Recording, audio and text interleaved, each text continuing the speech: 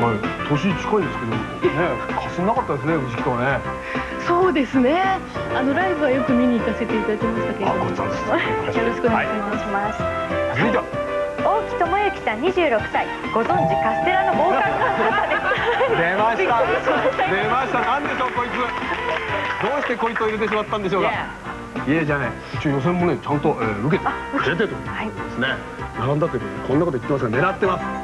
博学なところをこう爆発させようというですね。ちょっと動きが全然感じません。もうやめましょう。もう次の方を続いてお願いしますはい原田純さん27歳ミュージシャンの方ですみ見たよ。ね見たよ。前回の時に出て。そうです取材がいきなり増えましたね。で聞かれるのは。カルト級の問題を教えろってもうでもこうなったらやっぱ自分はそういう星の下に生まれたベース弾きなんだと思って、えもうカルト級でいっちゃったもうこのまま僕はそのでもでもイエこれちょっとこの二人ダメですねというわけでですね。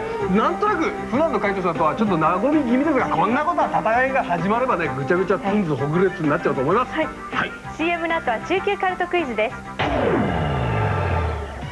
この番組はご覧のスポンサーの提供でお送りします。